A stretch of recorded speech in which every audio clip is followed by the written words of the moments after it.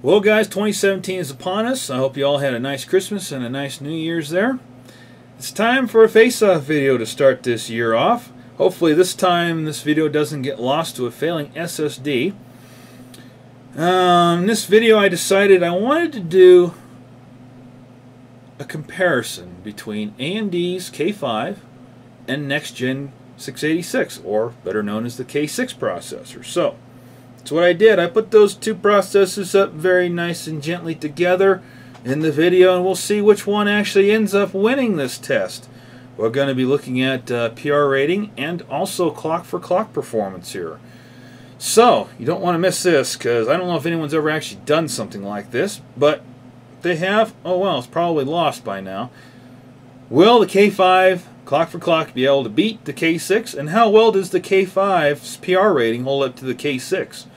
Well, we'll find that out in this video, so let's get started, shall we?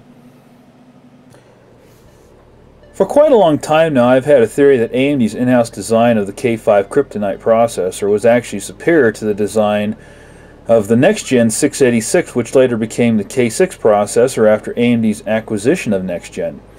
The K5 processor is an interesting design. Is a RISC-based core that has to convert Intel x86 CISC instructions to RISC instructions on the fly. Prior to the K5 PR120 processor, the K5's design ran the processor at full clock speed of the PR rating, stamped on the top of it there. However, starting with the 120, the internal clock speed deviated from that of the PR rating.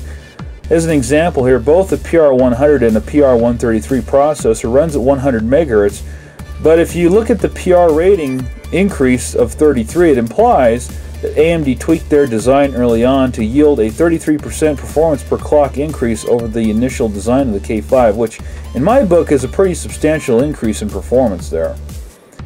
The K5 came with 24 kibbles and bits of level 1 cache, 8K of instruction plus 16K for data, and it topped out at 133 MHz. The 133 MHz variant was labeled as a PR120 processor, and these chips were not produced in large enough quantities to be around very much nowadays anymore. They're a very rare processor, so I will be overclocking my PR166 chip to a PR200 for these tests when we pit it up against the K6200. The NexGen 686 design had a larger pipeline stage which allowed the design to scale in clock speeds beyond what the K5 was able to achieve at that point.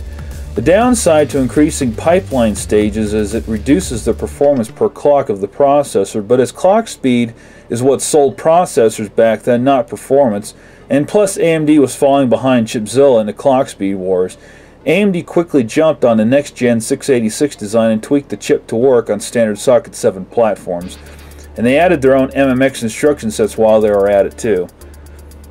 Now I've used both of these processors and I really like both of them. They both are really good chips.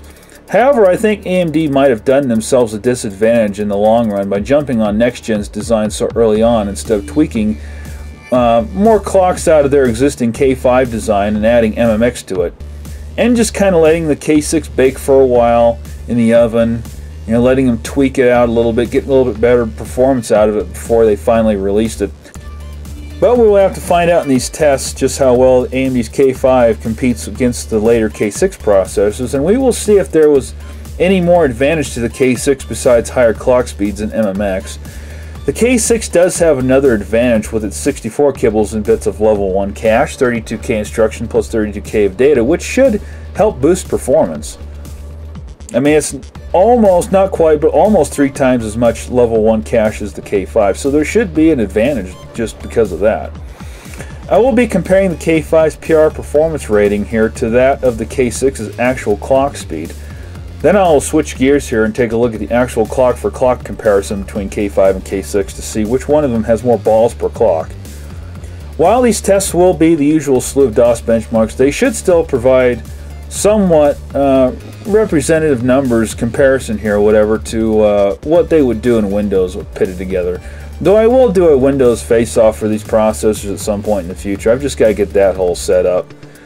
I predict the results will still be more, mm, more like they are under DOS.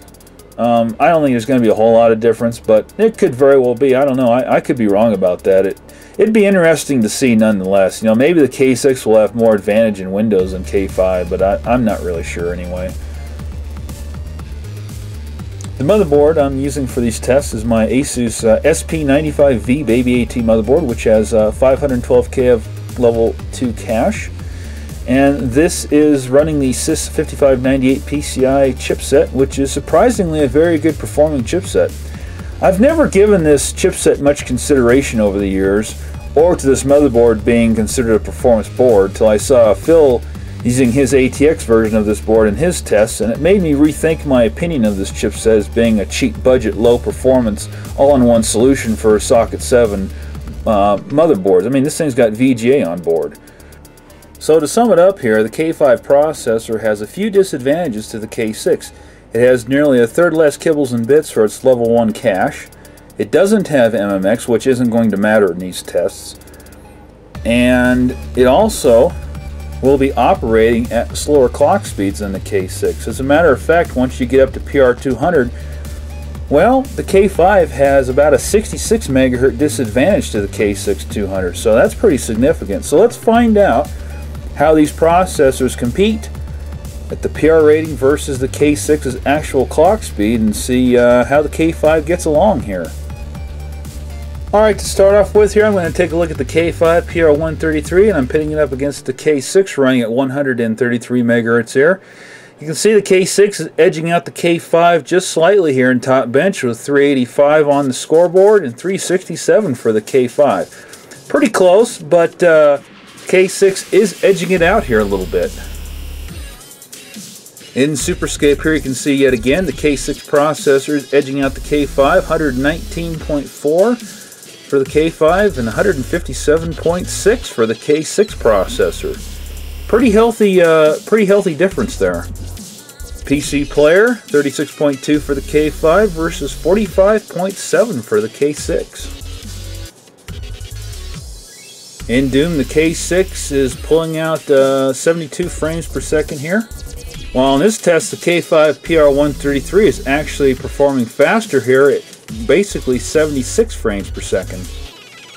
And for Quake, the K6 is yet again edging out the K5 with 25 frames per second even on the board and nearly 23 for the K5. So really the K5 is not trailing behind that far given the fact that it does have a 33 megahertz disadvantage at this point. It's still holding its own fairly well there. And we get to SpeedSys here. You can see that the K5 is scoring 104.94 on the chart there. 149.08. That's an impressive lead there for the K6. However, you can see that the K5 processor actually has a little bit higher memory bandwidth going on there. Some interesting results showing up on the uh, memory test there. Some really interesting patterns going on there. Looks like I'm looking at an oscilloscope or something right there. K6 on the other hand seems to have a little bit more of a steady uh, test going on there. The lines are looking uh, nice and smooth. And it's kind of an interesting result there from the K5. I, I wonder why it's doing that.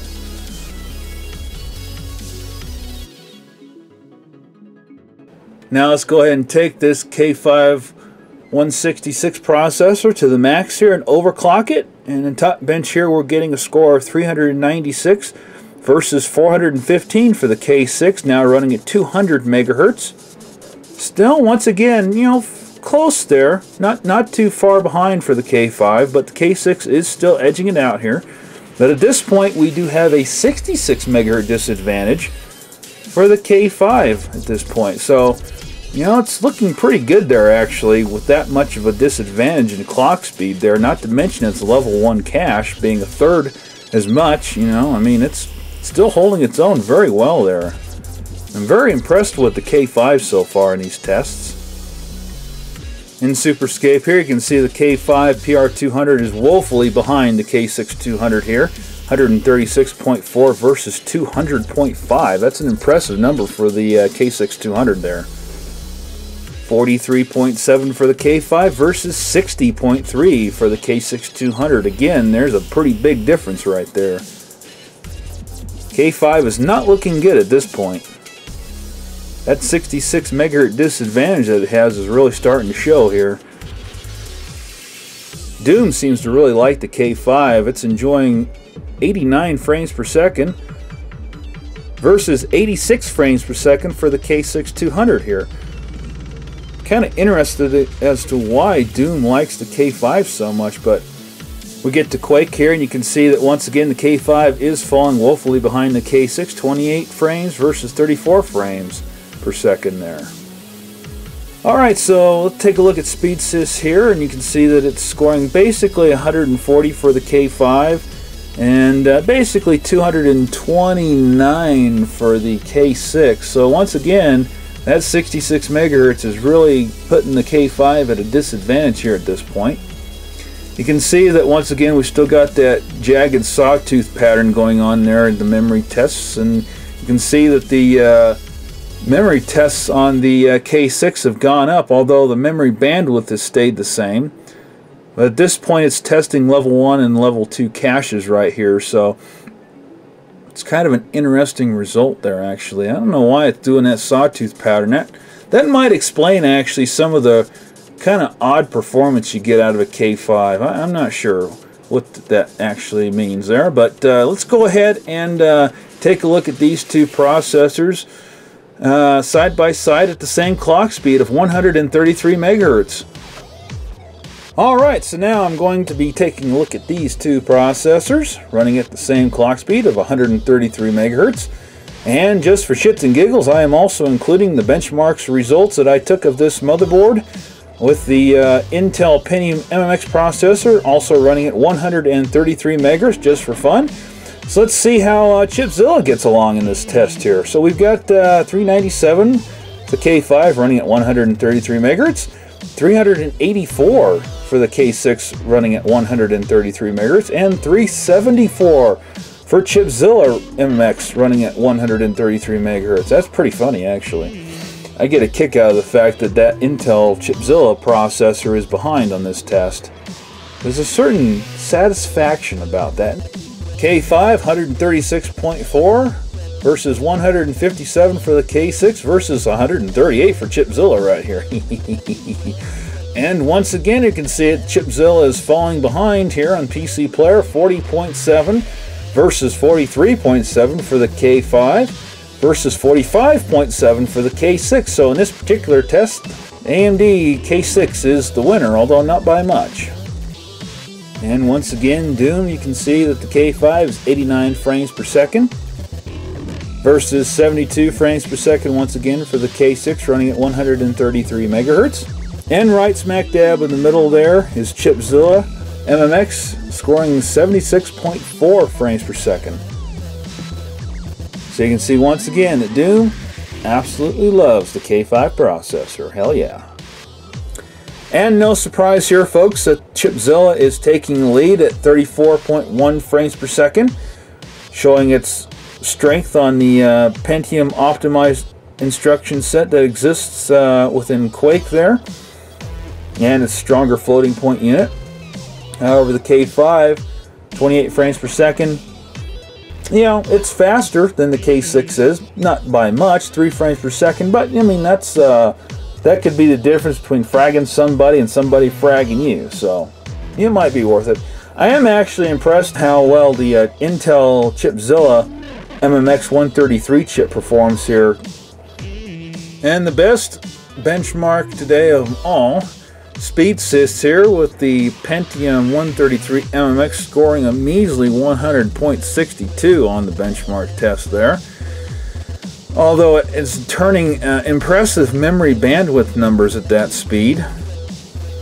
See, the K6 is 149.08 versus 139.98, or we'll say 140. So, yeah, the K6 is kind of sort of edging it out here, but not by much. And of course, the Chipzilla processor is looking really pathetic in this benchmark, so I like this benchmark. I like Chipzilla looking just as pathetic as they really are. oh, sorry guys. Chipzilla, there's a lot of stuff they did back then, and oh, there's a lot of there's a lot of garbage going on back then with Chipzilla. So it's it's in, it's pleasurable for me to see Chipzilla fall on its ass on some of these tests compared to its uh, uh, main rival, AMD back then, who they were giving a hard time to. Not to mention Cyrix, but AMD they were they weren't uh, friends back then. But yeah. So anyway, yeah. And as you can see, this was all ran with the Diamond Viper V330, which I forget failed to mention early on in this video, but you know, that's my I, I like that card. It's a good card. Alright, so I think this is going to wrap up these benchmarks here, and we'll come back to me uh, blabbering on camera. So this is a test I've been wanting to do for a few years now, and I think we finally have at least some pretty good evidence that the K5 processor design is superior to the K6, but not in every case. I'd say in enough cases, though, to call it superior. Personally, that's my opinion. I'm not really biased towards the K5. Well, maybe I am. I don't know. I do like it. But anyway, um, I love to see it whoop the crap out of Chipzilla. Yeah, I like those benchmarks a lot. I wish it did it every time.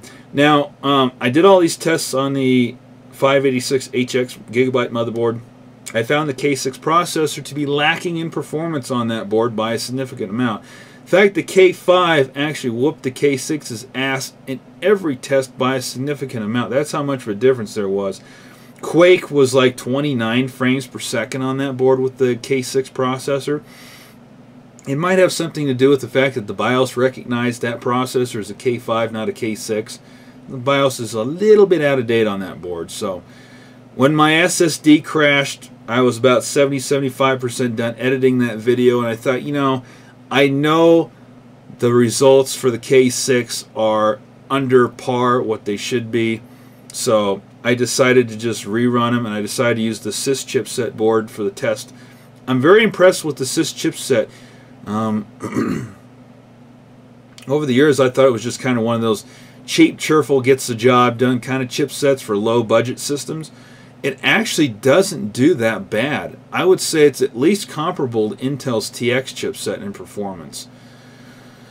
And uh, it's not really all that great as far as the BIOS options go. There's enough in there to please you, but I've seen better. But anyway, um, yeah, so this was an interesting test. I think the K5 won it personally. I love it when K5 kicks the crap out of Intel Chipzilla it's always a good benchmark when that happens.